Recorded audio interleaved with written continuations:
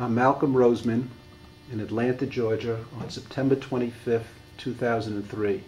I have the honor of speaking with Val Archer, also from Atlanta. Val, let's begin by just telling me where you were born and when, and a little bit about your early years. Okay, uh, I'm Val Archer. Uh, I was born in Chicago, Illinois, uh, on my grandmother's birthday in 1929, uh, April 13th. Uh, I attended uh, elementary school at Betsy Ross, that I recently heard in the news is still still around and having probably more difficulties today than they were having then. Um, I eventually, uh, as my family moved from one, from one neighborhood to another, um, I transferred to different schools. I eventually uh, graduated uh, uh from summer school at a school called Charles Kozminski, which was over on the, the far east side of Chicago, I believe, um, from the uh, eighth grade. Um, I didn't go to high school, uh, sort of dropped out then. Uh, my mother passed when I was 12, and I guess um, I didn't have the type of supervision that was necessary to compete with my peers at that time, my environment. Um, uh, I joined the service in 1945. Uh, uh, because I was out of school, I associated with uh, some fellows who were uh, a few years older than I. And uh, I sort of followed them when they went into the service, and it was my plan to follow them and so on. You were quite young when you went in. Uh, yes, I was. Um, but um, I was sort of caught up, as I think uh, many people were, with the uh, what we, we know as propaganda now. Uh, the way the, um, the war was described uh, through the mass media and uh, throughout the community and every kind of institution. We were sort of bombarded with uh, information about the enemy and the Axis and, um, and so on, and, and the Uncle Sam needs you and the USO and um, the newsreels and so on. And in my young mind, I was caught up very much in that and I figured that uh, I, I, think I estimated that uh, since I wasn't very productive at that time uh, in any case, uh, uh, being in the military service would probably not be a bad thing for me. So I tended to follow in the footsteps of some of the older guys, and I tried to enlist. I think uh, first in the Marine Corps, and then the Navy, and then the the Maritime Service, and uh, that went on, in, in, fact, for a couple of years. And uh, uh, one day, uh, another friend of mine and I were um, uh, passing a recruiting station and decided we'll just go in and heckle these guys because they're not going to take us anyway.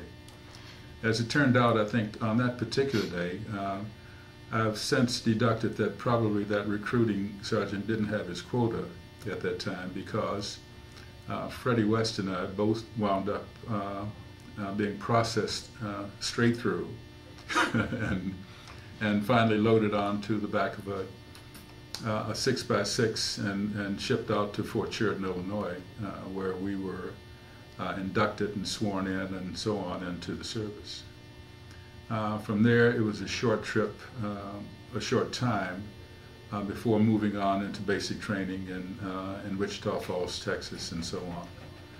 Um, my early, early years uh, in Chicago, um, I think uh, as I look back, everything seems to be sort of normal in, in my, own, my own terms. Uh, perhaps it would not be normal uh, for someone else who was observing that, as I observe young people today uh, some of their uh, experiences are extraordinary, and I think uh, probably some of mine were as well. Um, I had um, uh, two brothers and, and one sister. Um, uh, one of my brothers recently passed uh, a couple of years ago. Um, they, my, both my brothers, sort of followed me into the into the service. Of course, they went to high school and, and graduated. Were you the oldest? I was the oldest. Yeah and um, let's see. Well, let's go back to um, your back to your military. Uh, you're now at in in Texas in Okay. basic. Yeah. Okay. Uh, Um, as I recall, that was uh, that was quite an experience, and, and as I look back at it, some of it, um, I find some humor in it. Uh, growing up in Chicago as I did, and uh, I had I did my time with gangs and, and so on, and um, as I came into the service, uh, I sort of brought my uh, myself uh, into that into that uh, picture and uh, uh, obviously came into conflict with people from other other backgrounds. Uh, I recall uh, an incident with a, a wrestler from Oklahoma who was, I think, I guess he was probably about 200 pounds, and I think I was probably about 130 pounds. And one day uh, he had decided that uh, since our our um, uh, organization at that time uh, was very close to his home. Uh, from from uh, Texas to Oklahoma was just a short trip for him. Uh, he had figured out that that uh, if he managed to get our training set back, then he would have an additional amount of time uh, uh, near home and so on. But I thought that was kind of kind of silly and kind of selfish on his part. And and so did a, another kid from, from Detroit who was all probably about my size, uh, who uh, said something to this guy and he got smacked. And uh, I thought, well, if he can get away with that, smack this this kid and get us to go back and do that, you know, then I'd have to try my luck with him. So we were on the second floor of, uh, of this barracks, and so uh, almost immediately we were tumbling down the tumbling down the stairs. uh, and that, that, that lasted for, I think, a good, a good 20 minutes or so, maybe longer than that. Um, but uh, I, I, I, I rather enjoyed it. Uh, and, and looking back at it, it, it to be uh, um, bloody or, or uh, have that kind of physical engagement uh, was not unusual for me. And uh, and and uh, I think probably fortunately for me it was because it was not for for the wrestler.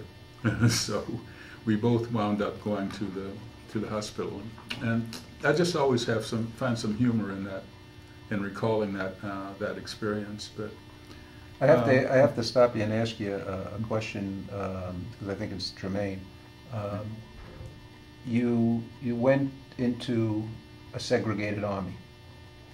Yes, Um, and my knowledge of the segregated army at the time was most of the offices, maybe all the offices that were around, Mhm. tended to be were white. Yeah. mhm. Uh, how did you feel about all that? Uh, I, I guess uh, I had some feelings about it, but uh, as I was incorporating all of this new experience, uh, uh, I didn't know anything about uh, uh, anything about the military, about um, the officer corps, the enlisted corps, or, any of that. That was something that I had to learn. But I very quickly learned that uh, that some of our white officers were quite racist in their outlook and their expectations. And um, with my attitude, as I was describing with the altercation with this wrestler, uh, I would have had the same uh, the same propensity to, uh, to deal with them in the same way. Um, I guess I was fortunate in a way uh, that I, I received a, a few reprimands in that and had a lot of extra duty, but uh, I never punched one of them. So uh, I therefore managed to stay out of uh, serious serious problems with it. But uh, I, I fairly quickly became aware of the became aware of the fact, and it was not.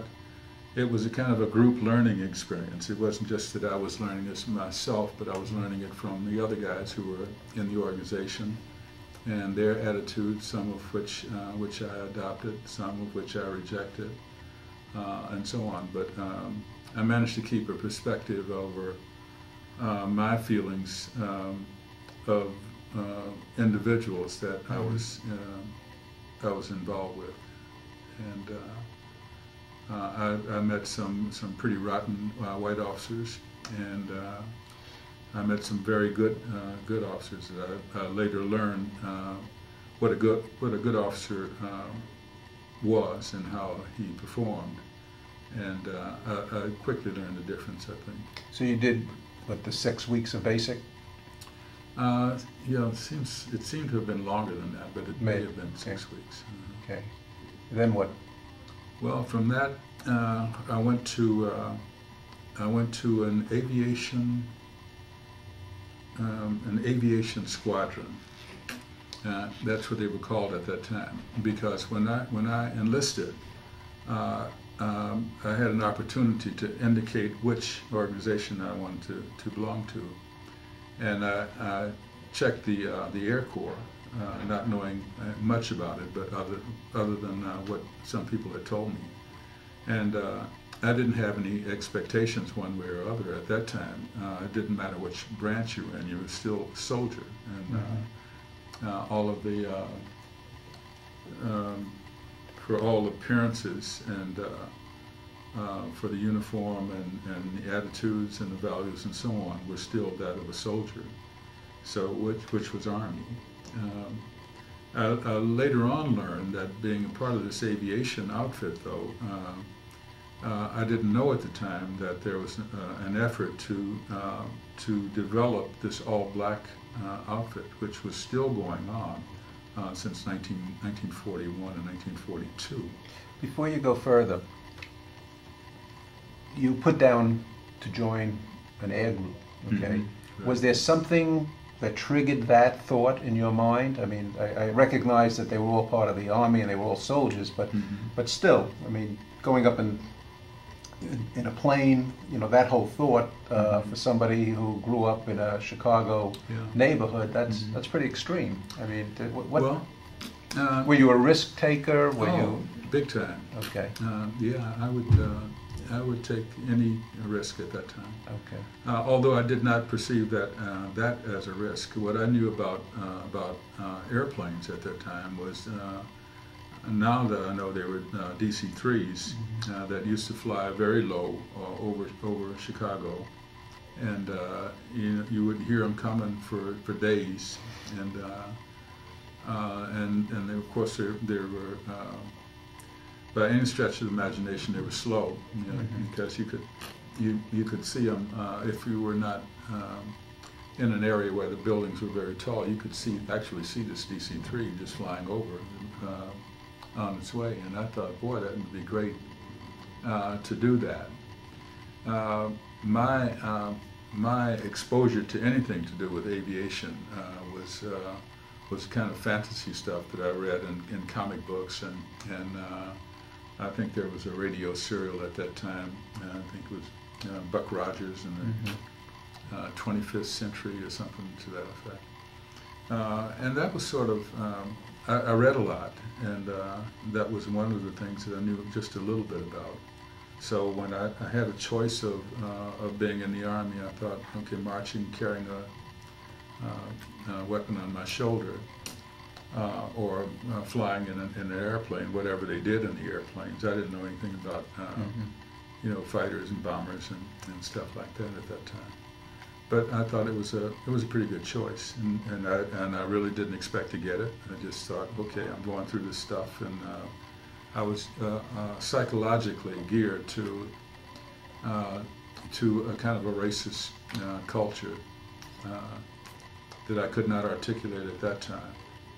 Uh, but my expectations were uh, that uh, you're going to get the short end of the stick anyway. So uh, just uh, put down whatever you think you can get away with, and then, and then go for it. All right. So you moved into this to where at this point? Uh, my first stop uh, after uh, basic training at Wichita Falls, Texas, was a place called Geiger Field up in uh, in Spokane, Washington. And I went there. That was a that was a fairly pleasant experience. You know, being out of the city and, and out of the uh, out of Texas, uh, which is another world by itself. Uh, to go up into the mountains, and it was cold and pristine, and uh, a new experience, and and uh, I was excited about it. and I went to a, a, I think it was a, a demolition a demolition school. I went to learn how to blow up stuff, which was uh, uh, not inconsistent with my character uh, at the time. But uh, when I uh, completed the training, I was very quickly put on a train and with orders going to to join this 332nd um, fighter group uh, in Columbus, Ohio. And uh, that's where I went to spend uh, mm, the next uh, little more than three years until the integration occurred. Okay, so you were in Columbus, Ohio for three years at that point? That was my, my base. Your base. Of course, I left there for, you know, for training uh, at different places, mm-hmm. at Chanute and uh, um, Chanute and Scott and uh, Keesler, Mississippi. And so, short train. At, at, least for the to the World War II piece, you were always mm-hmm. in the state. You were stateside. Yeah. Okay. What what were you trained for uh, in uh, Columbus? Uh, well, when I got to uh, to Columbus, one of the first first uh, assignments that I had was uh, as to work on a P-47s as assistant mm-hmm. assistant crew chief.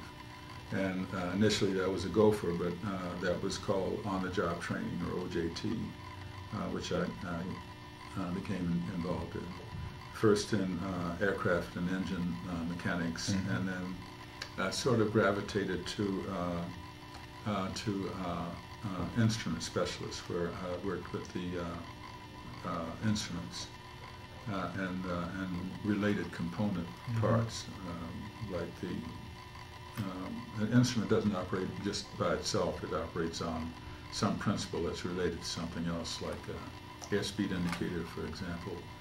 Uh, in those days, we had what was known as a, a pitot-static tube, uh, where that would register the um, the pressure of the, the, forward motion or something, and that would be registered into this uh, this uh, airspeed indicator uh, that would do that. And then there were engine instruments, manifold pressure gauges, and tachometers and indicators and so on.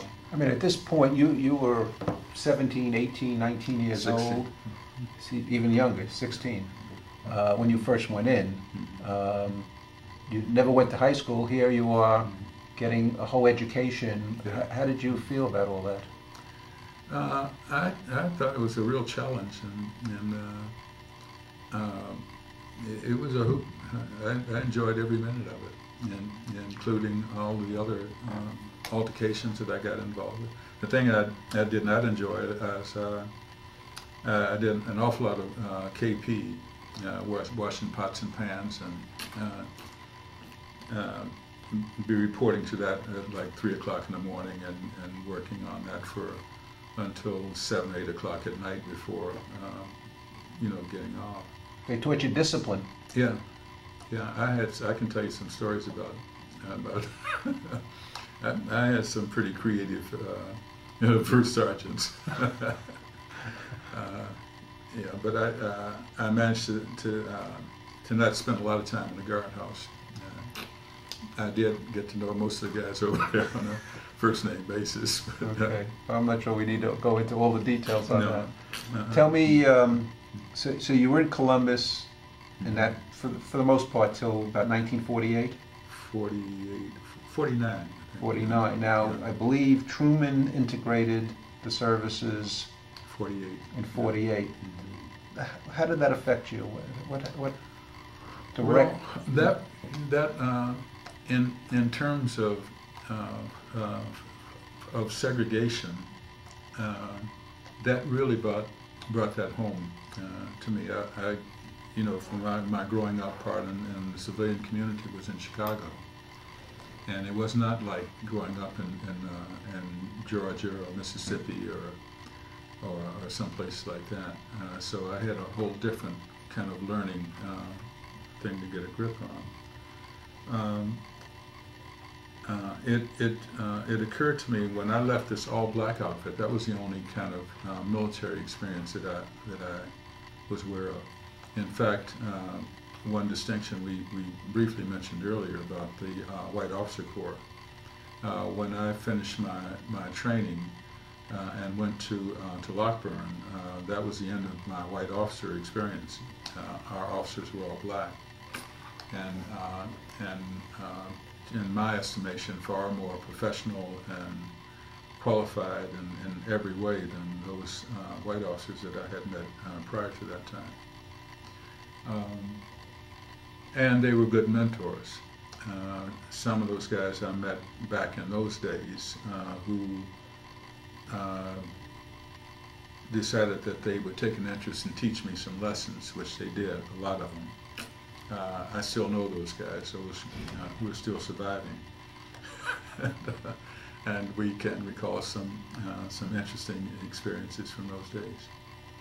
Uh, but as far as the integration uh, was concerned, that was my first experience with uh, with segregation, and from a different sense because I was moving from an all-black uh, community uh, that had its own social and political and other kinds of dimensions into an all-white uh, installation where uh, um, there may have been 2,000 uh, white troops there and, and, uh, and three black troops.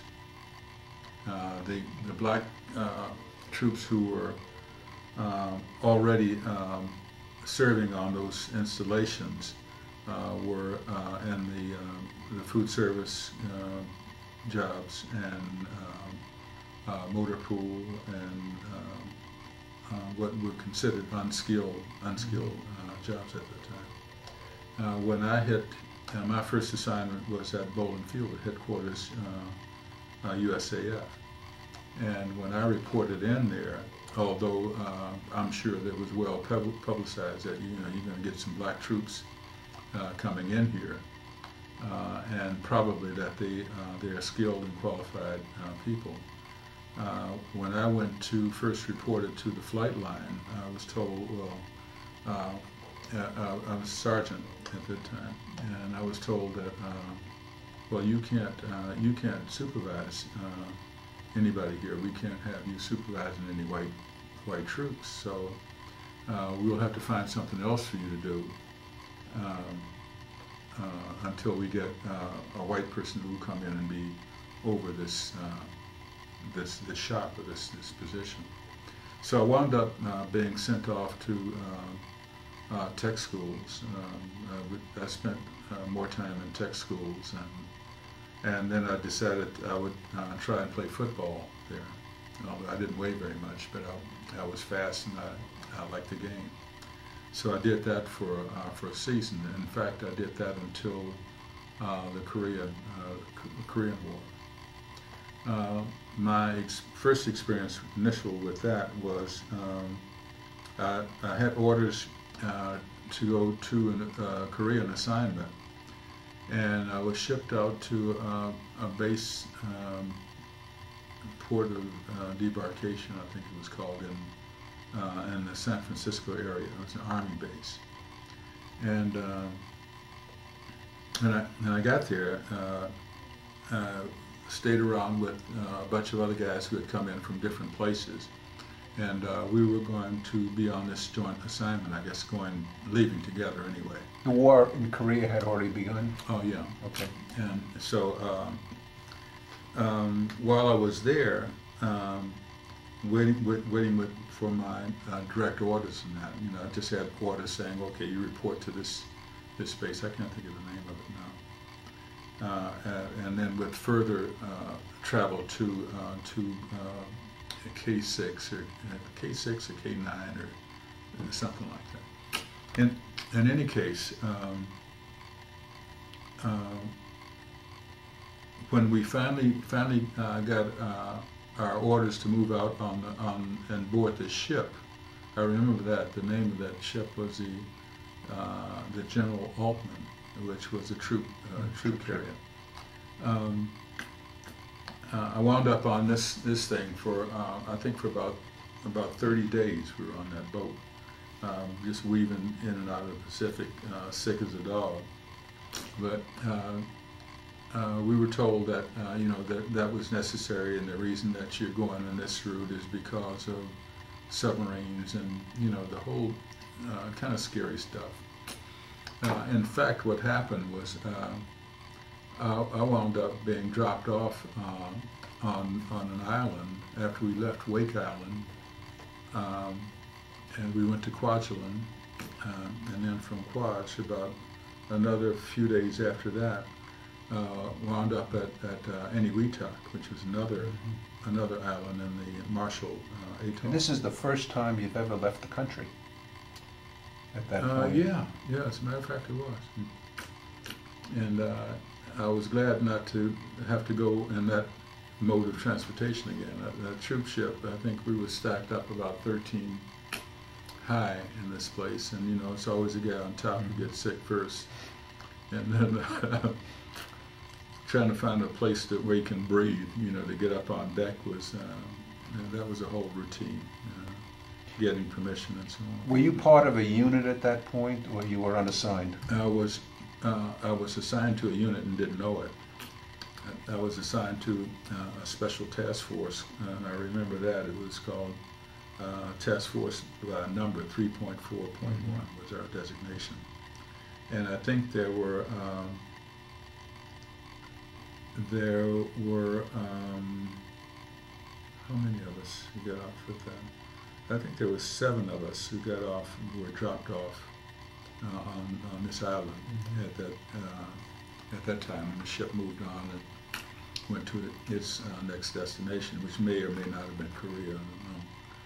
But uh, anyway, I wound up there, and this, this project turned out to be uh, a nuclear project to test an atomic device there, and uh, uh, which was a, a whole other kind of experience. And uh, some of the training that I received there was, was interesting as well. That, that whole experience was, uh, was interesting. Well, when you say training, what were you trained for?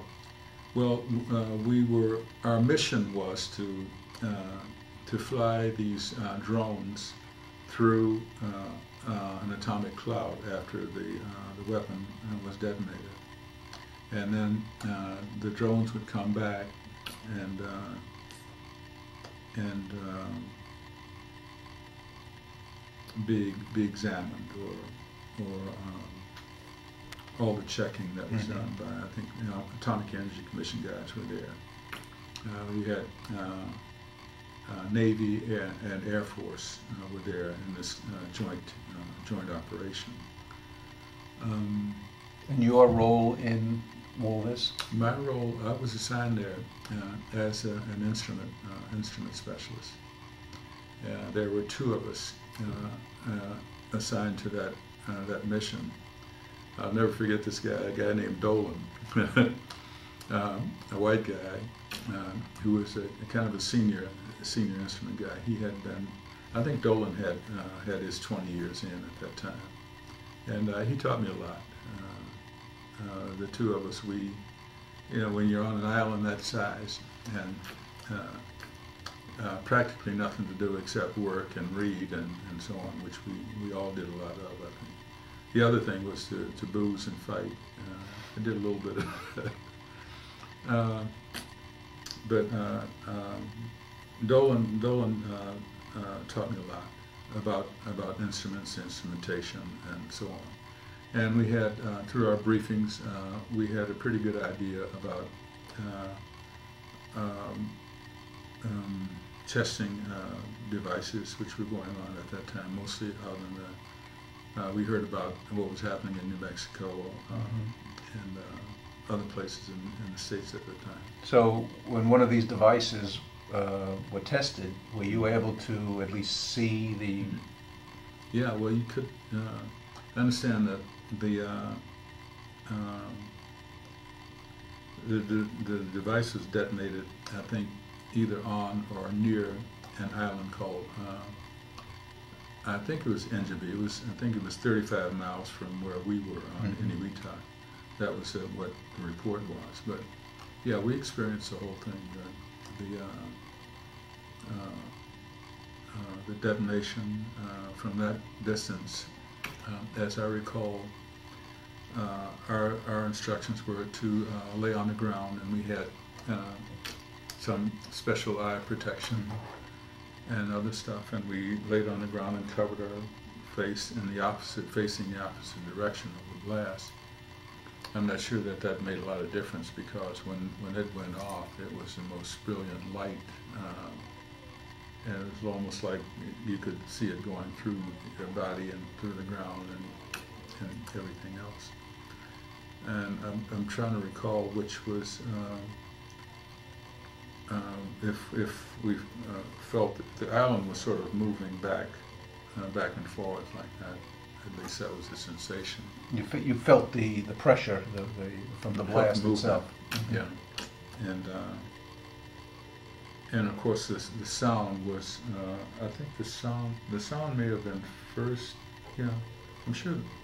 No, I don't know whether the sound was first or the flash was Mhm. first um, from that distance, but uh, they were separated by a, a distinct period of time, Mm. and it, it lasted for uh, quite a while. It, the detonation was. Uh, and early in the morning, uh, maybe two or three o'clock in the morning and so on. And, uh, and we were still sort of experiencing that uh, way after, uh, uh, after da- dawn the next, the next day. Uh, and then, of course, we, we were busy again uh, with our, our separate uh, operations. Mm-hmm. How long were you on the island doing this? I think for, um, it was less than a year, uh, maybe, maybe, maybe 11 months or something. I re- I recall that it was less than a year. Um, yeah, um, maybe 11 months or something. What was next? Next, uh, uh, I came back uh, intact with that with that organization uh, for the most part, and I was assigned to uh, Eglin Field uh, to a proof test wing. And uh, when when I got back there, I sort of picked up right where I left off uh, with um, the base in Washington. Was uh, with that. Um, uh, we don't have a we don't have a spot for you on the flight line. Um, and I- I'm sure I was offered, uh, would you like to work somewhere else? Would you like another another job somewhere? And I, I recall uh, um, going off to some more some more tech schools at that time. And uh, So you're getting a heck of an education at this point. well, I, I, I got some technical training, but uh, it was not really not really an education. I knew what was going on. Mhm. That was you know it was pretty pretty obvious. No one uh, tried to conceal um, the purpose or the reason for any of this at that Mhm. time. Um, what I had I had been to uh, Eglin Field before because uh, while stationed at Lockbourne, uh, we had our gunnery uh, gunnery uh, training there at one of their auxiliary fields, uh, where we went every year. We went to uh, I think there were several auxiliary fields there, and uh, different years we went to different ones, and to do um, uh, to do training, um, uh, you know, for the pilots to go out and get their uh, their gunnery stuff in, Mhm. um, and of course we had to support that uh, those operations. So I was sort of familiar with that. Um, what really went on uh, at that time was some more. Uh, that was my, my first sort of exposure uh, to the South, and and uh, and what, what all that meant in terms of being a black soldier. Um, the, uh, the the segregation, the kind of places that we were allowed to go, when we were permitted to go. I remember uh, going to a movie once in, in Pensacola and being told that um, that blacks had to go, I think, into the into the balcony, but you had to go up uh, uh, the back stairs like a fire escape. Uh, that was the entrance to go up, and there was little um, uh, little place, you know, like I don't know, a section of seats that we were allowed to sit in. Uh, I, I think that was the only time I ever went to went to a movie uh, off base. Uh, there were. Um, Now, what, you're, you're mid, uh, about 52, 53? No, this is was back in the forties. Oh, okay, Yeah. mhm. okay. So when I came when I came to Eglin uh, after after the um, the uh, nuclear Mhm. assignment, uh, I, I was somewhat familiar with that installation, so I sort of knew what to expect there. Uh, I, I did have friends, uh, young friends who were who were married uh, that I knew um, uh, and in Washington who were assigned there, and they were living in, in a, an area called Skunk Hollow, which was at the bottom end of the, the swamp, swampy end of the base.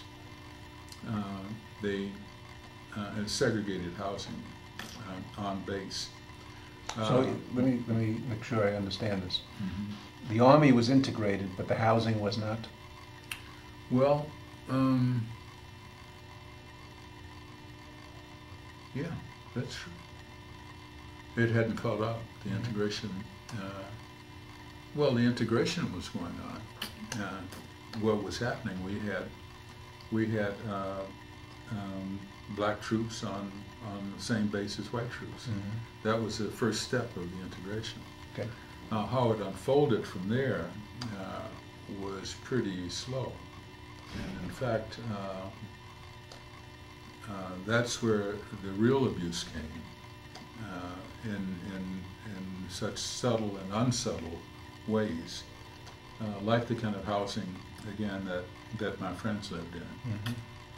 Uh, just be, because they were married and they were uh, allowed to be, uh, uh, have their families accompany them, uh, they lived in this area called Skunk Hollow. Uh, and there were, uh,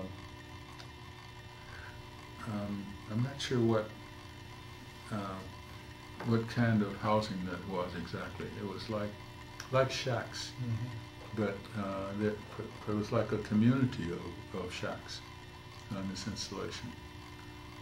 And uh, I remember um, one family in particular had a, uh, uh, an infant, uh, infant child, um, and they would, um, uh, the, the deer would, would walk up, and you know they were very um, uh, sort of domesticated almost, Mhm. and uh, and the baby was uh, crawling around on the on, on the ground among the, uh, these fawns that were that were out there. Um, but it was you know so so basic and so crude.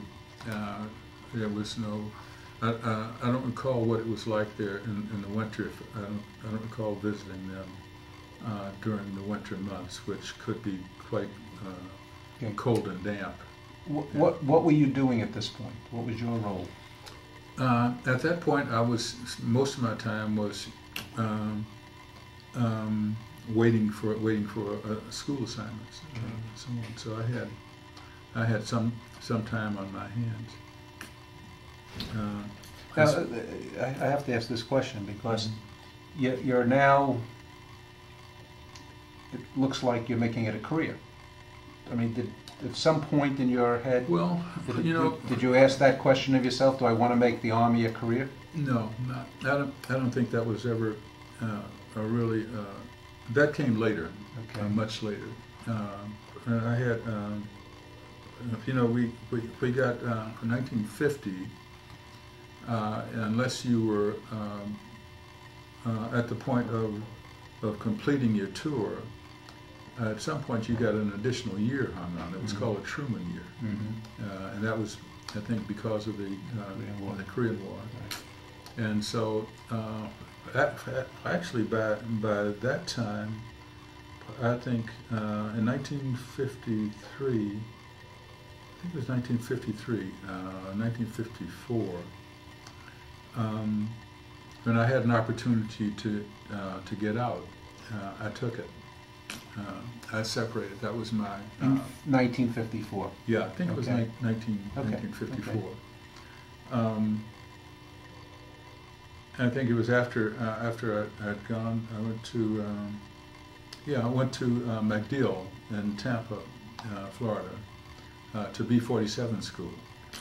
Uh, after I had just I had prior to that I'd gone to a uh, an engine analyzer course uh, that was crazy stuff uh, back in uh, at uh, at Chanute, and then I went to another course at Scottsfield. I don't know what that was about. I don't remember that, but I came back and I was kind of excited about this uh, uh, B-47, which was a, new, a, whole new system, and uh, jet jet bombers, and really it was a neat neat system at that time.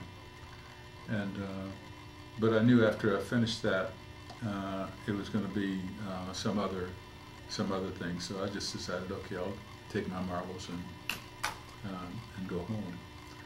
Uh, and that's how I got involved, I think, uh, with the reserves unknowingly. Uh, I was carried on the rolls for the reserves, um, although I, I, was given an honorable discharge. And uh, it was, uh, I, I, think, uh, I think I had been out for six or eight months or so, and I got this letter saying that report to um, re report to some some base uh, something. I, I, don't recall the details of it, uh, but you've been recalled uh, to uh, to active duty. And I thought, well, I, you know, I a discharge. I, you know, no, and, and, the Korean War is over at this point. Well, yeah, 54, 54 it had been. Yeah, yeah, it was over. Because Eisenhower became president. That's right. In 52. Yeah. So, uh, so I said, well, you know, it's got to be some mistake. You got the wrong, maybe somebody else uh, with the same screwed up name or something. And uh, I, I, I, think I, I contacted uh, whoever the authorities were at that time, and they said, no, uh, um, no, you've been you've been recalled, and they didn't explain very much, as you know, uh, oftentimes uh, bureaucrats don't do, and and they didn't feel any compunction about, uh, in other words, uh, you know, you're AWOL if you don't, if you're not here, so uh, you don't deserve an explanation or something. So uh, my attitude was, you know, come get me. so I moved. Uh, uh, from then, I moved to to New York, to Brooklyn, and worked on the docks for, I think, I don't know, a matter of months before. I don't know how they tracked me, but I got a letter again saying report to some place. And I left again, and uh, I went to Chicago. And uh, I think I was there for six months or so, and I got another one of those, and so I left and went to. I, I don't think I wasn't wasn't really running from them, but in, in one sense, uh, I didn't feel that I owed them any explanation the same way they didn't feel they owed me one. So we were having a little standoff there uh, anyway, uh, finally, the, uh, some really official guys who came, I think, in black suits and stuff, and they said, "You're, uh, uh, we're escorting you to to your new assignment." And they gave me uh, uh, two hours or something like that, and then uh, one of them stayed, and the others left, and then they came back, and so went out to to Mitchell Field in, in Milwaukee where you go, what year, what, This was, I think this was in fifty-five, okay. yeah. So you've been out for a little over a year. Oh, yeah, well, it's more than that. Uh, So it must have been, it must have been, must have been fifty-three, that you went out? yeah. Okay, okay. Because uh, it was over, it was, no, it was more than a year. Okay. Because I was bouncing from so now you're in yeah, As a matter of fact, uh, Eisenhower, Eisenhower was president, I think, then. Mm-hmm. And uh, I, uh, I, I, remember how interesting it was that, uh, that uh, every time you turn on the news or something, all you would get is how popular uh, this guy is. And, and at the same time, you couldn't buy a job. Mm-hmm. there, there were people in soup lines, you know, and I thought, uh, what the hell's going on with, with this? You know, you know, people are starving, and we're talking about how, how popular and what a good job uh, that I didn't. Uh, I was non-political at all mm-hmm. at the time. Didn't didn't have any interest, uh, no knowledge of it, and so on. But I did think that was that was pretty strange stuff. Okay, so now you're in Mitchell Field in Milwaukee. Yeah, and uh, I, I, think I was there for uh, for a few hours, and I met this colonel who also uh, had an attitude at that time. I don't know if somebody had done something to him, but uh, in any case, he, he, had this attitude like, we don't owe you any explanation. Uh, uh, you, you hear, hear your orders or, or you go next door and get your orders or something. And I wound up uh, uh, at, uh, at Geneva, New York. I forget the name, of the, name of the base here. in the dead of winter. and uh, I, I stayed there for, uh, I was there for I think a couple of months, and there was some question about whether or not uh, they were going to give me a grade adjustment or if I was going to have to be a private, which uh, ultimately was the case. Uh, they never gave me a grade adjustment. Because you left as a sergeant, Yeah. and then you're coming back as a private. Yeah. mhm. So uh, I was told that uh, that the authority for, for that whole operation was something called the Universal Military Training Act, and uh, the, the, the fact that uh, uh, that I was not old enough to be out of that that category. Now this is what I was told, and I Mhm. never never got a straight answer uh, about it after. So it really, it really didn't matter all that much. Uh, you know, I, I, I could, there was no way I could get out of it without going to jail, and uh, they made that clear. So, uh, so I sort of started off all over again. Uh, I didn't have to go through uh, basic training or any of that, but I did get. Um, I was, I think I was offered a, a, a, chance to go excuse me, uh, to be a flight engineer, um, but without the pay. That would be a private uh, on that, and so I thought, well, that's not, you know, we can do better than that. So I said, you know, give me a, send me somewhere else, and so they sent me to a different, uh, different school again. So I spent a lot of time in school, in, in uh, tech school. uh, tech schools, yeah. Um, eventually, well, let's see. Uh, I was assigned. After that, I was assigned uh, overseas again. I, I did a tour on Guam, and from Guam, uh, I did a consecutive tour uh, in Japan, and uh, had some some assignments in Korea, brief TDY uh, periods and then and then back to Japan, and uh, I got I got married in Japan at that time. Um, that was a uh, that was a, a whole other story. It would take two hours to to ex- describe that to you. But you met your wife in Japan. Yeah. And uh, then I was I was assigned from from from Japan to um, um, the missile squadron, uh, ICBMs. I went to the 3, 395th Missile Squadron at um, Vandenberg Air Base Mhm. in California. Mhm. Uh, that was another interesting place where there were no uh, there was no housing at, the, at that time. I think that was a new base, new facility, a new program, and so on. I was assigned to the Titan. Uh, also on that base, we had uh, uh, Atlas and. Uh, Now, when you say you're assigned, what was your job with respect to that? Uh, at, um, by, by this time, uh, I was in training. Uh, my job was, uh, I was an instructor, and I did, uh, I did uh, mostly management training, and then some, some uh, technical stuff uh, from time to time. But mostly, uh, I had an opportunity to work for some of the, uh, the, um, uh, the contractors, like Mhm. uh, Aerojet General and General Dynamics and so on uh, at night, uh, learning to write uh, to write uh, technical uh, technical data, and uh, so that, that was a good experience. I, I had an opportunity to do that for a couple of years. Um, Now, what years are we?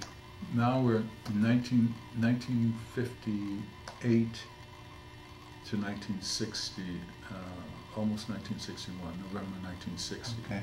when I got another uh, overseas assignment. Uh, But at this point, you're in the army. I mean, you're oh yeah, you've kind of made your decision to stay. yeah. Well, uh, by this time, uh, uh, it was dawning on dawning on me that I, I was past the the halfway mark for uh, for some retirement, and I was still thinking that at some point, oh, I think I had given up on the, the uh, grade adjustment Mhm. thing.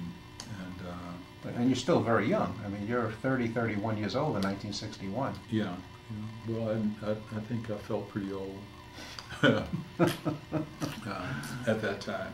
But um, anyway, I had uh, I had some some good experiences, uh, some good training, uh, military training. Uh, I think I was probably one of the most trained uh, uh, people in the military, and I had uh, opportunity to, to move into different career areas and learn that. And uh, uh, at, at some point, I got wised up enough uh, to go to night school, and, and I continued those uh, attending night school uh, throughout uh, the the period when I was in uh, in California and then overseas, and I, I got my undergraduate uh, degree, my um, education with University of Maryland. So you finished, you finished high, you got your high school diploma, Yeah. equivalent, and then you went on to college and got your undergraduate degree. Uh, well, yeah. Okay. Uh, I, I, I didn't do it in that order. And, uh, I normally didn't do Mhm. things in a proper sequence. Uh, I, I was on the, I think I was on the dean's list um, for two years, and, and someone uh, decided that okay, you have before you go into the next category, whatever that is, uh, you have to have uh, proof of your high school stuff. So. Uh, I, I faked it. No one had ever challenged me on that before, and I said, "Well, I went to the school that my brother went to uh, in Chicago, and uh, uh, it took them about another semester or two to catch up with that." And they said, "Well, they don't have any record of your of your attending uh, attending there." So then I was given the option of, of taking the, the uh, GED, which I did, and. Um, So you've been on the dean's list in college, and now you're taking a GED in high school just to get through, get the piece Yeah. of paper that says you did it. Yeah. uh, And then, uh, anyway, after I left there, uh, that was a that was a long story too. But, But before my- you go on, what was your degree in at, Uh, at uh, Maryland? in Maryland, uh, economics and psychology, Okay.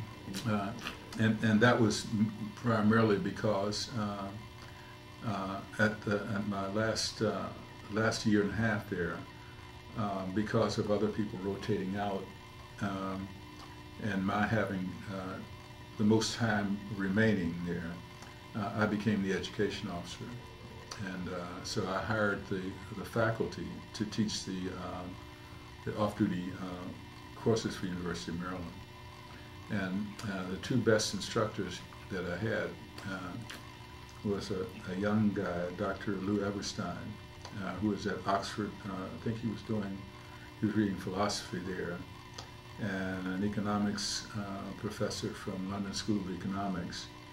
And uh, these are two best guys that I had. And then, and then I got another uh, economics professor uh, who had been uh, at West Point, uh, and he was back at Oxford getting his master's. Uh, so I had these guys consistently over. And But you're still, but you're still not an officer. Oh no, Doing all this and you're not an officer. no, no. Well, uh, I, uh, it, that that didn't bother me as much as just not having enough not having enough money to support my my family. But then there were uh, uh, there were there were occasions when I had an opportunity to work a part time job in the officers club or NCO club or something like that. But with all this knowledge and background, and there was no way of you going into an officer No. candidate situation? No, no way.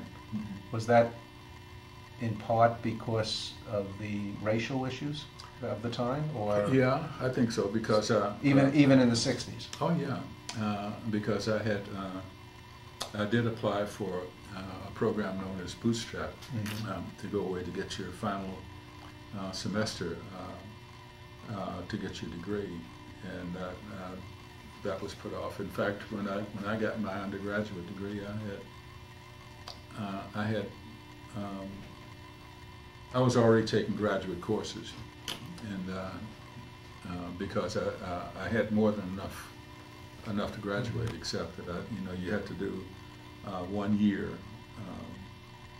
Your final year had to be at Mhm. the institution that you got your degree from. So after that, where, where did you go next? Well, I came back uh, back to the states, and I went to. Um, I was assigned to the Syracuse, New York, um, where I, again I was the education officer. Uh, I, I didn't have the, the grade, but uh, I was the only person that they had uh, to do that, and uh, um, I did uh, part of my graduate stuff. I did uh, at um, at night again at uh, Syracuse, and then I got a fellowship uh, to finish up uh, my uh, master's, and uh, another one to begin my PhD studies in. And I was moving in. I changed my my field uh, from education uh, to political science and public administration, and um, I wound up uh, with my doctoral studies in uh, interdisciplinary social social sciences. Now, uh, shortly after, uh, and I, I, I retired there. I planned for retirement In in 1960. 1968. Yeah, and um, at that time I was offered an opportunity. Uh, the way it was put to me was something like, uh, "If you'll sign on for uh, uh, for 10 more years as this officer program that's uh, that's in place now."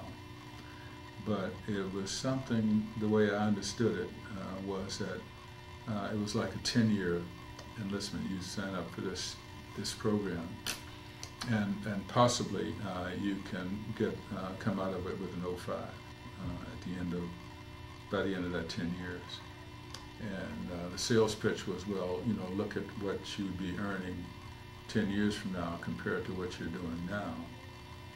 And um, I had, fortunately, I had some good counsel uh, at the university, and they said, well, that, uh, that would be peanuts with compared to what you might earn um, if, if that's the only uh, consideration. Now, in 68, Vietnam's obviously going on. Yeah. Your, your involvement at all? Uh, I mean, you never went over there. Uh, not just TDY, but not TDY. uh, temporary temporary duty, Okay. like going over for. I went over for uh, uh, for um, well a classified uh, thing for Mm-hmm. uh, just for a month, uh, less than thirty days. But uh, uh, and in fact, I did uh, I did uh, sign up uh, to go there to put in a tour, and, uh, there was no opening for my my career field Mhm. uh, at that time. And I wasn't serious enough. I wasn't worried about it enough to you know to really pursue it. Yeah. The Plus, the war really heated up in 68 when you were Yeah. really getting out. Yeah. hmm Yeah. kind of tie together the whole Tuskegee Airmen um, as as it affected you, and if you could explain the relationship um, that you had with it and the benefits, and a little bit about the organization, or the I guess the I'm glad uh, to have that opportunity uh, to share some of that. Uh, my experience with the um, the organizations uh, that were eventually known uh, became known as the Tuskegee Airmen uh, had that experience was pretty profound. The impact on on me. Uh, when I first uh, joined the 332nd and the 477 composite group, uh, at Lockbourne uh, in Columbus, Ohio. Uh, I was uh, just briefly removed from from a whole different perspective and a direction that my life was taking. Um, I think that my experience at that installation was probably the most profound uh, in, in my life because it has influenced um, um, the direction that I've taken since that time. Um, and uh, uh, to share a little bit of the background on that organization is important to know where they came from, uh, to know where I come from with that. Uh, at that time, um, I, I quickly learned that this was a unique organization. It was the only uh, black organization uh, in all of the military services at that time uh, that were engaged in actual uh, military um, aviation, flying airplanes, and everything that goes with that. The entire operation, the entire support functions, ground support, operations support, everything. It was like a black city. Uh, it had all of its own resources and all of its own uh, um, specialists uh, who performed all of their activities.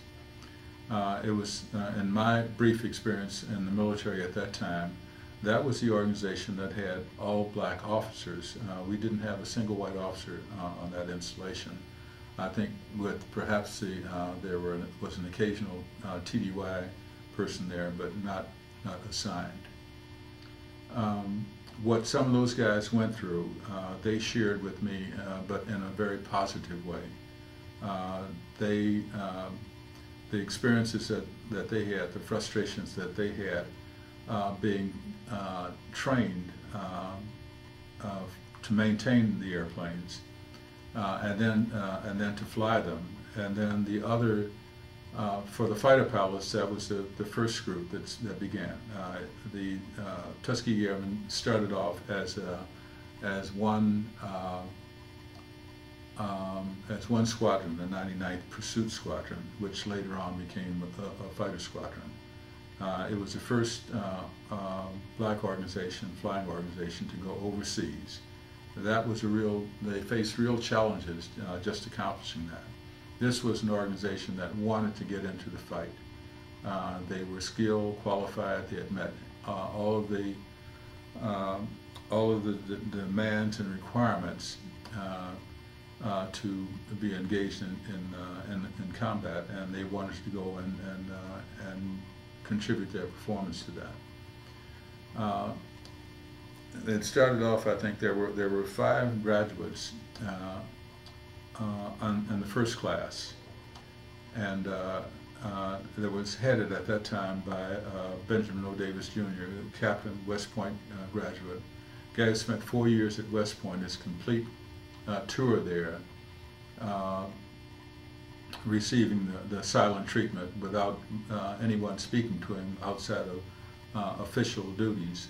Uh, a guy who had to go and ask permission as a cadet uh, if he could uh, have a meal at the table uh, of other other cadets, and, and would have to get permission to sit down, and uh, and often, uh, as I understand the story, was not given permission until the meal was over, and then it was back into the, the drill and uh, and so on. So, some of the the kind of harassment, you know, the kind of ugly, unnecessary experiences that that this guy had there um, was the kind that created the kind of discipline in him that as he became uh, the first commander of this all-black squadron uh, as a captain, and uh, eventually uh, uh, his promotions came uh, quite rapidly to catch up with his classmates from West Point. He graduated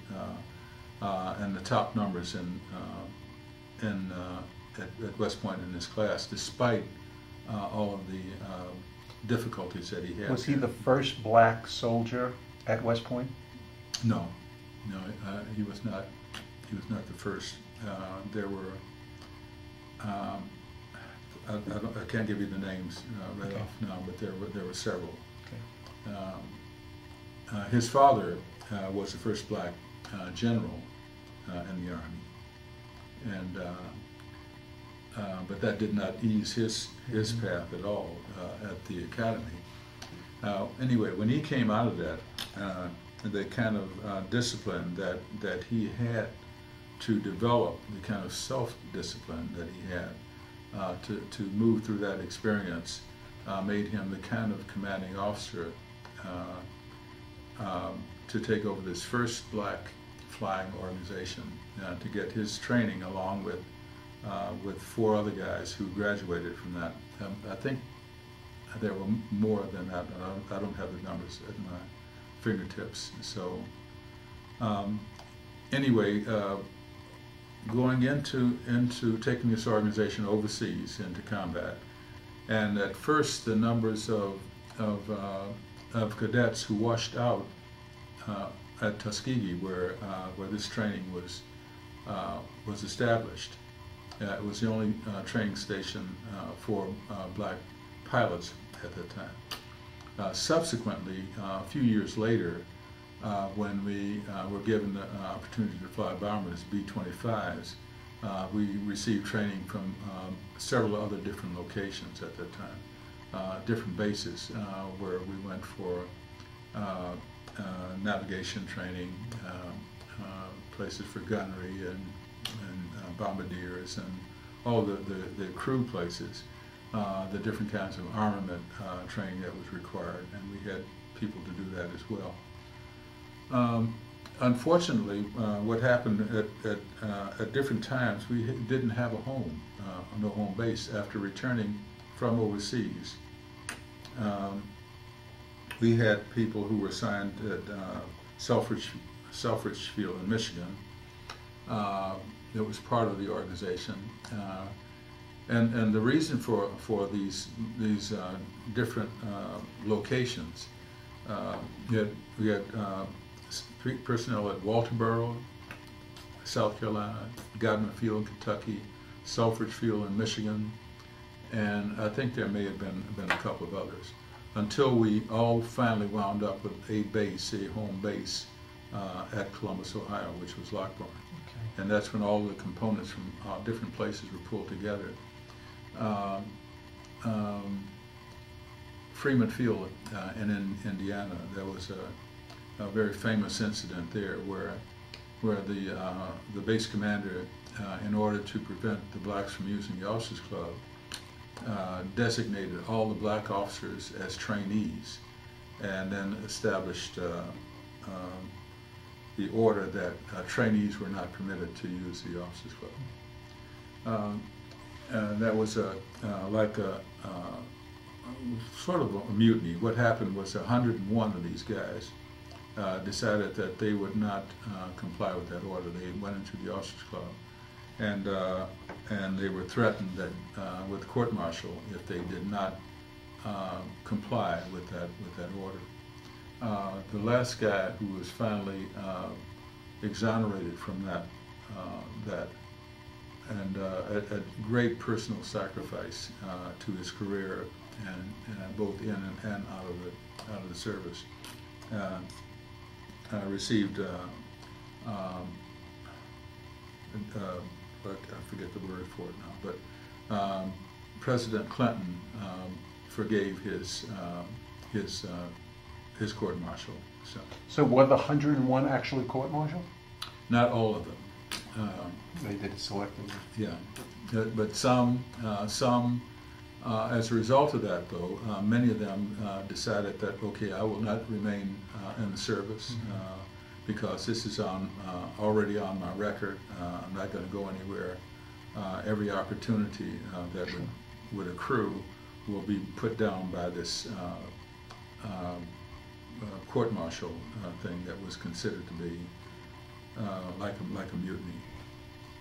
we still have a, at least one of those guys uh, right here in, in Atlanta, in, uh, in, the Atlanta chapter. Um, but the, the kind of discipline that, that we had to, to develop and that in, in my relationship uh, as I came along uh, and joined this organization uh, at the time that I did and with the, uh, the experience and everything that was going on in their environment and their lives at that time, was a kind of a conditioning process. And uh, for those of us, uh, the black troops who were brought into that organization, we were just sort of sucked into it. And uh, fortunately for us, for the most part, uh, these guys were, uh, were smart enough and dedicated enough uh, so that they said, now, the training that they, they passed on to us is that you better not fail at anything uh, if you fail, we're going to take care of you. And, and it's going to be worse than if you had that. And, uh, and I think we got the picture. Uh, but uh, it was that, that kind of commitment, that kind of, kind of dedication and and sacrifice uh, that that uh, that gave us the strength, I think, to prepared us to go in and integrate this uh, this Air Force, this Army Air Corps. Uh, the the kind of racism that uh, that that I personally encountered, and I know that other people encountered uh, uh, the same way, uh, was uh, mostly kind of humiliating experiences for the most part, at, at being abused, mostly, well, all entirely verbally, of course. In fact, there was some uh, some stereotype stuff about uh, black guys being like Joe Louis, um, who who was in fact uh, a role model in, in many ways because he was a champion, and uh, we had him to sort of respect and that kind of thing to look up to. Uh, fortunately or unfortunately, I think we had a reputation of uh, every black guy is, is a is a, a, a prize fighter, and and uh, uh, you don't want to engage them in, in physical combat, but you you screw them every other way that you can, uh, and there are thousands of ways to uh, to to um, express that that kind of uh, uh, racism. Uh, most prominently, it had to do with uh, uh, promotions, and uh, where um, on, on any number of occasions I did, and I experienced it with other people, where we would actually train uh, some white troops to come in, and uh, in a very short time uh, they would replace us, uh, and with the promotions and all. So uh, that kind of humiliation, uh, and uh, not not only the humili- humiliation of it, but the actual loss of loss of money, which was important in trying to to maintain a family. And after being uh, um, involved as long as some of us were, you reach a point where um, you know you have to do that. You've got to finish off the job, and that that could be anywhere from wherever you make that decision, and depending upon what your circumstances were at that time anywhere from say 10 years to uh, between 10 and 20 years. And it, uh, that was a time that you had to uh, suck that stuff up. And that's a long time. And it, it creates uh, um, uh, uh, some very very powerful feelings I think that kind of deprivation and that kind of vicious ugly ugly stuff So the Tuskegee Airmen organization really becomes your support group? We were our, our own support group, Mhm. yeah. And uh, uh, as important as it was uh, to go out, to move out and, and, and turn the, the entire military around, uh, and, that, and that's happened to a very large extent right now. Uh, as important as that, as that, that was, uh, it was done at great sacrifice, at, at, at great expense uh, to many, uh, to many people and I feel abused by that myself to a certain extent, but I think not enough to stop me from from where I want to go. My, my direction has changed.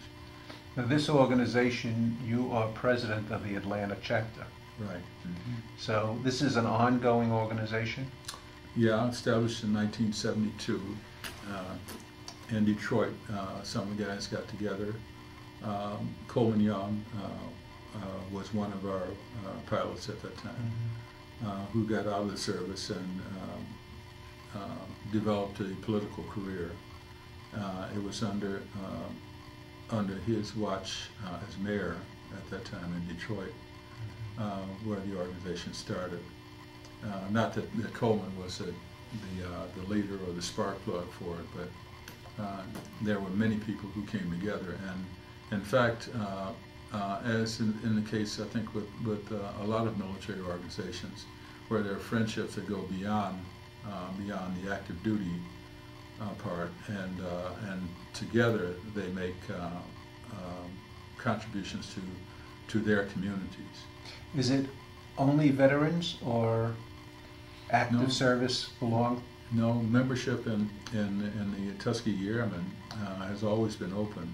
Uh, uh, race, uh, gender, uh, uh, it's open to anyone who um, uh, agrees to work with, the uh, directions and the goals and objectives of the organization, which is uh, to a large extent uh, to uh, help young people, um, especially minority kids, uh, get through some of the barriers and, and meet some of the challenges that, that they have to meet that, uh, that, that many of us have gone through and, and are no longer intimidated by it. So there are active mem, active servicemen part of the organization? Okay. We have, So it's ongoing. yeah. How many members are in Atlanta? Atlanta at the moment uh, has uh, about 50 members. Okay. uh, which is uh, uh, a very low count uh, compared to other metropolitan areas of similar stature. Uh, we should probably have at least 200 members. Uh, that will be my primary responsibility. How long have you been president? Uh, three months. Oh, so it's recent. Yeah. Okay, I'm going to take you back a little bit. We're going back to 1968 when you left the Army, Okay. okay? Mhm. Let's talk about the, re, the, the rest of this, Okay. the sequence. Well, you, you probably recall in, in 1968 was uh, uh, was um, nearing the end of a, a very violent uh, racial uh, uh, situation in, in the country. Uh, uh, at that particular time, uh, I was in graduate school, and and uh, I think I was doing a, a teaching. I was teaching some some classes while I worked on my, my doctorate. Um, This was in Maryland? no, this is in Syracuse. Oh, in Syracuse, okay, Yeah. I'm sorry. And uh, um, on typically on on on uh, I think most campuses in, in the country, particularly large, um, again predominantly white campuses, uh, our, numbers. On, I think um, there were two other black guys in uh, in my um, uh, graduate graduate school at the Maxwell School at that time, and. Uh, um, I think we didn't face uh, kind of discrimination um, stuff uh, after getting in and being accepted in that. Uh, we had the same challenges as anyone else, I think. Um, but what was going on on the campus at that time was there were there were uh, militant uh, undergraduate students, and they were uh, agitating for their rights and, and positions. And we had, uh, to some extent, an intransigent administration. Uh, we uh, did not have, uh, I think the black, black faculty uh, at that time were, I could, you know, practically non-existent. And, um, and trying to adjust in that situation of, of kind of racial disparities and so on. Well, the, the city wasn't burning down uh, around us.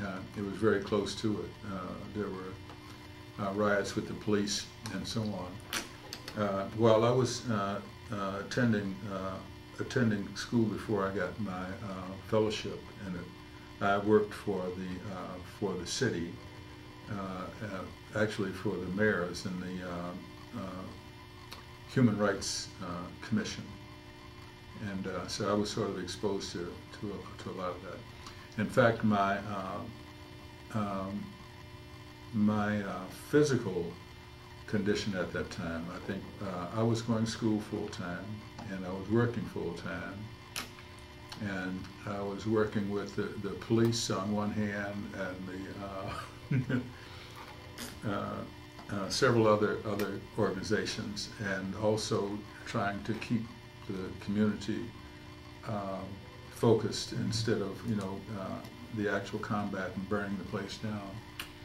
So I did. I didn't get a lot of sleep, and I didn't get a lot of uh, uh, taking care of myself uh, at that time. And as a result of that, uh, I wound up uh, having a heart attack. Hmm, And, And, and uh, this is, you were young at this point. Uh, I can say that now. I felt young. Uh, Well- I feel now I was young, but at that time I didn't feel. Uh, You were I 40. felt pretty You were old. 40. yeah, yeah, somewhere about that. Well, at 69, you would have been 40 years old. Yeah, that's right. Well, uh, in any case, uh, The good news is you survived. yeah, I survived. Uh, unfortunately, I had uh, I didn't complete my dissertation, uh, which was a real. Uh, it seems like uh, I've had two major blocks in, in my life. Uh, I didn't get a commission uh, uh, uh, from the service, and I didn't finish my, my doctoral. Those are my two uh, my two huge uh, disappointments in my in my career.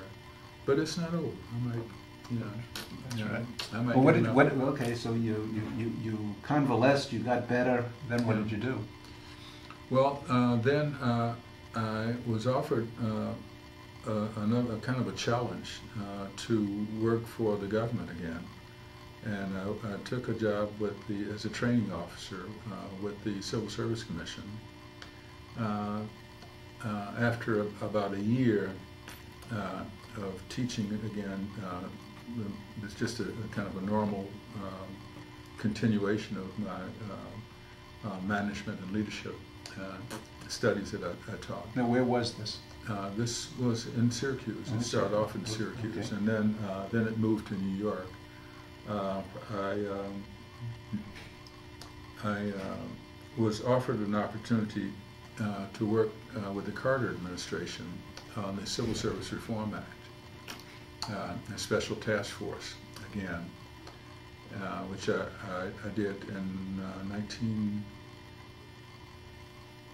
67, yeah, 67. 77. Uh, yeah. Carter, 70, was, 77, yeah. Carter was uh, president from 76 to 80. Right. I, I give him. That's all right. Um, when I completed that, then I was given an assignment to uh, to teach at the Executive Seminar Center uh, at Kings Point uh, in New York, mm -hmm. and uh, I did that for a while, and then I was recruited uh, by one of my students to be the uh, director of training for uh, Department of uh, Defense Logistics Command Agency. So I did that, and uh, uh, subsequently uh, had a friend who uh, was at uh, who, who did his uh, mid mid career training at Syracuse uh, as an 06 as a colonel. Uh, at that time, uh, he got his second star here at Fort McPherson, and I had been out of touch with him for uh, for a while.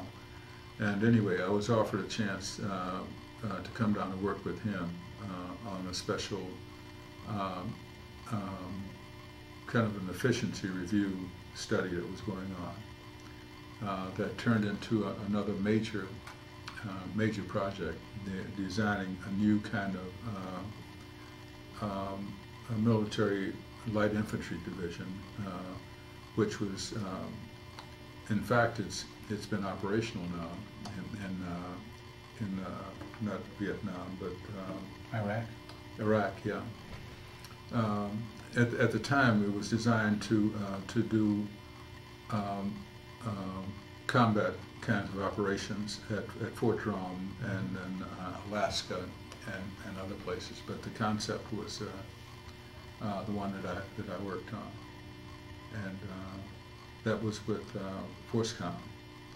And uh, um, I I had another offer from, from there after completing uh, that assignment, and I, I got some big awards and, and stuff for that. And uh, I was offered a chance to um, to work with an organization that John Lewis uh, had had established. And it was called it was it wasn't a Peace Corps. It was uh, Peace Corps was part of it at the, at the time he did it, but it was um, called Action. Was the name of the organization. And uh, He wasn't in the government at this point. Um, I mean, he wasn't, was he a congressman? no. Uh, was before? you know, I'm not sure what John was doing at that time. I think it was before.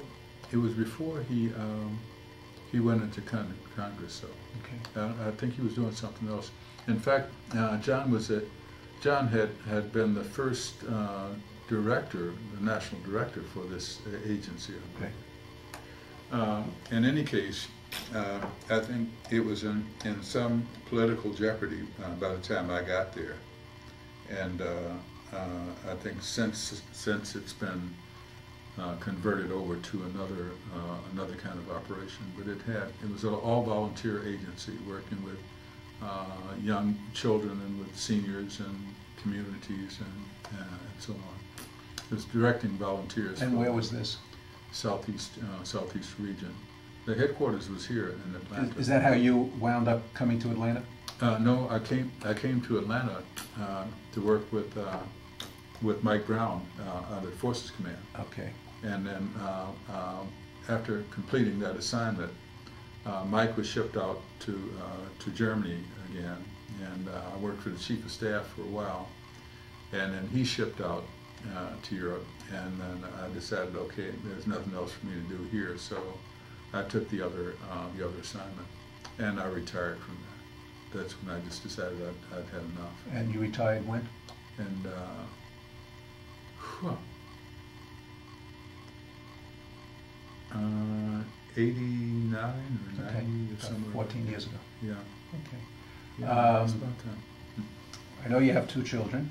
Yeah. Their names are, Uh, Alicia and Portia. and they have children, no Uh, grandchildren. Uh, Alicia has, uh, has two, two boys, uh, Sam and Zach, uh, who are uh, teenagers.